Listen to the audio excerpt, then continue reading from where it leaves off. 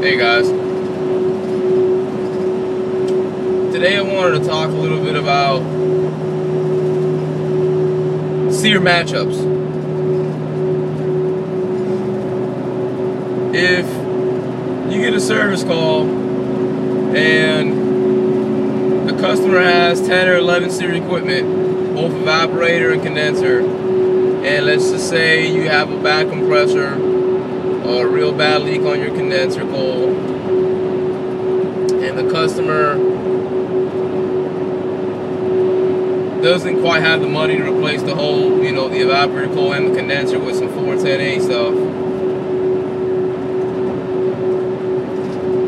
Is it worth putting in a dry charge 13 or now the minimum 14 seer condenser?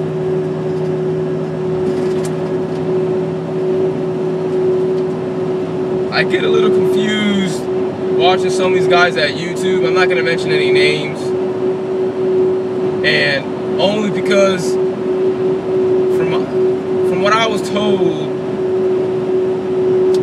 if you match a 13 seer condenser with a 10 or 11 seer evaporator coil, let's just say you have a piston as your metering device because the condenser has a higher seer rating, the condenser coil is going to be significantly bigger than the 10 seer coil. Thus, having more refrigerant circulating through that coil going back to your evaporator. Because you're moving more refrigerant, you're going to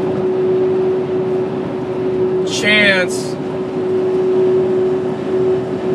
flooding that evaporator coil and possibly having liquid going to the compressor. Uh, typically, the, the normal operating pressures on that type of matchup you're going to see is high suction pressure and slightly high head pressure, low superheat. I do know if you install an expansion valve to that 10 seer coil, it will help some as far as bring the superheat down, uh, up rather, and avoid any type of uh, uh, liquid entering the compressor because that's what an expansion valve does. However,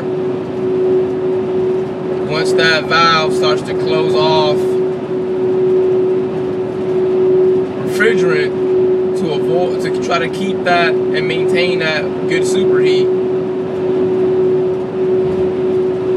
your head pressure starts to go up.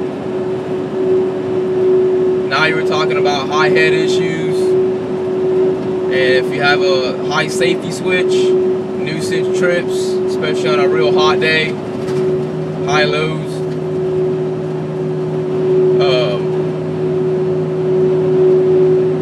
and the same, uh, well, not the same, but you know, you have other issues when the situation is reversed. When you are replacing a 13 seer, a 10 seer evaporator coil with a 13 or 14 seer evaporator coil and keeping the 10 seer condenser.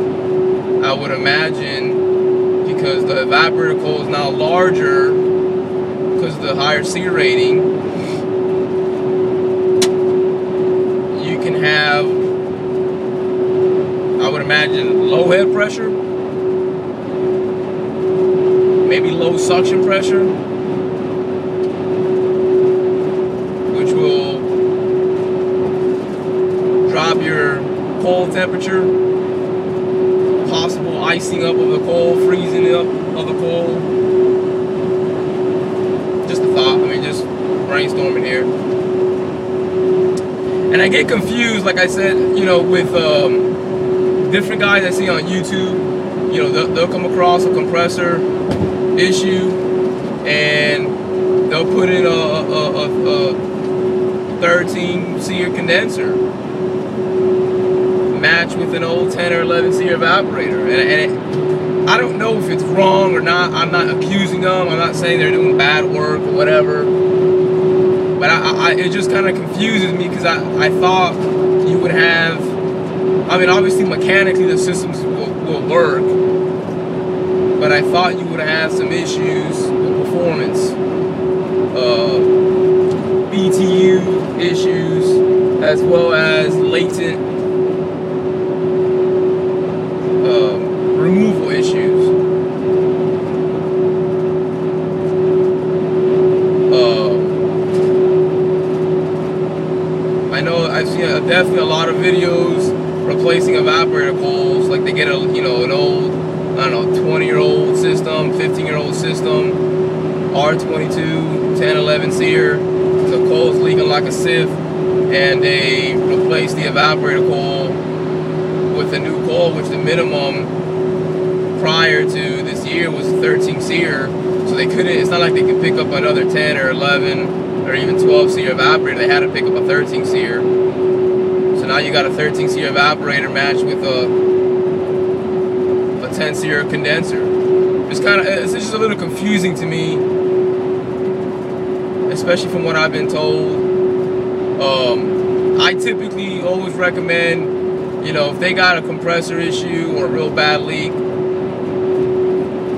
going back with 410A equipment, it just it just makes sense.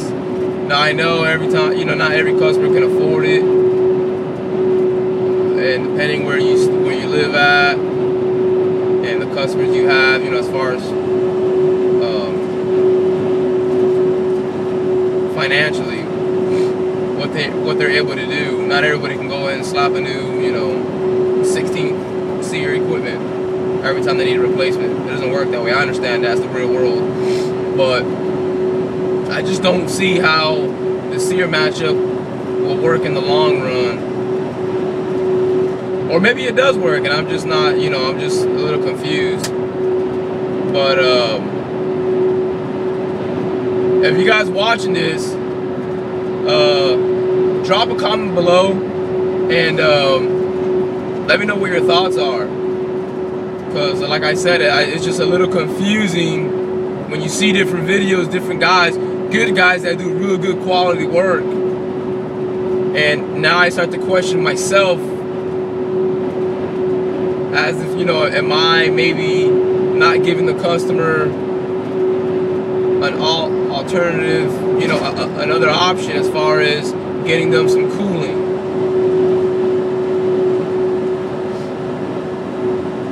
Just a thought. Again if you like drop a comment below and uh, let me know what your thoughts are